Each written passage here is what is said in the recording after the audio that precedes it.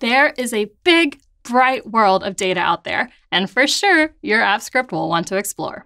So today, we'll take a look at services, APIs, and how your script can get access to the greater internet around it. In this episode of Apps Script in a Snap.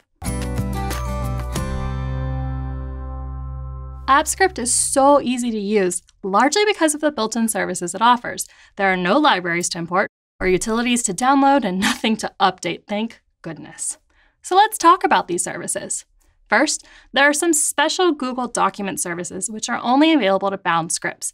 These functions are meant to help you identify which document you are working in and where your edits are currently happening. So you've got methods like get active spreadsheet or get active sheet or even get active cell to find the exact cell that's being edited.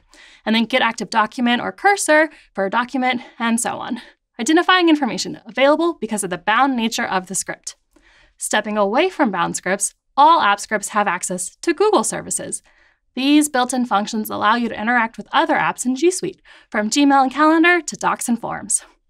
Advanced Google services bring other Google APIs into Apps Script, such as BigQuery, AdSense, and YouTube. Think of these as Apps Script wrappers for common REST API endpoints. To use an advanced service, it must be enabled and associated with a cloud platform project.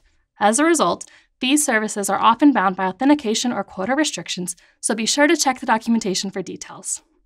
Finally, there are several utility services available to you so that you can log information, compress data, or issue common HTTP or XHR requests to external APIs, bringing any other application you work with back into your project. No matter what you're looking to do, the services in Apps Script will help you avoid boilerplate slogs and focus on your code. Subscribe to the G Suite YouTube channel for more great tips like this, and stay tuned for more Apps Script in a snap.